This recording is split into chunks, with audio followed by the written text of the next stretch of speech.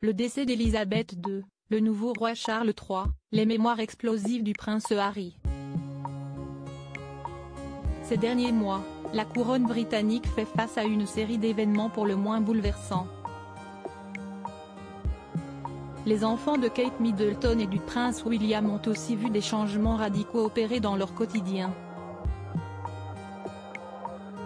L'année dernière, le prince et la princesse de Galles ont, en effet, pris la décision de quitter le palais de Kensington à Londres pour déménager à Adelaide Cottage à Windsor. George, Charlotte et Louis ont donc commencé leur entrée dans un nouvel établissement, à l'école Lambroux. S'adressant dans un podcast de la BBC en 2021, le prince William a révélé avoir trouvé son fils frustré par l'état de la planète après qu'il eut participé à des séances de ramassage de déchets. Le père de famille a décrit son fils George comme étant confus et ennuyé, en parlant avec lui, l'autre jour, il montrait des signes de confusion et d'ennui par le fait qu'il, ses camarades de classe, étaient allés ramasser des déchets un jour et que le lendemain, ils ont fait le même parcours, à la même heure, et ils ont ramassé à peu près tous les mêmes déchets.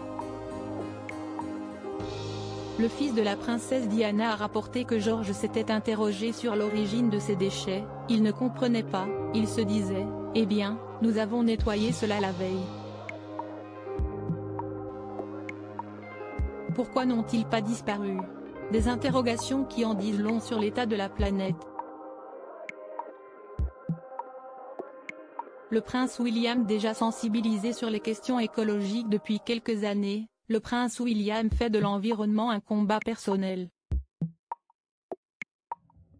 Le frère aîné du prince Harry s'est beaucoup investi sur les problématiques liées au changement climatique et a notamment créé le prix Earthshot pour récompenser les innovations en matière d'environnement.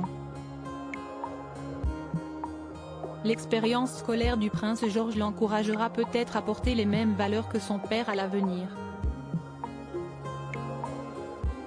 Article écrit en collaboration avec 6 médias. Crédit photo, Photoshop panoramique best image.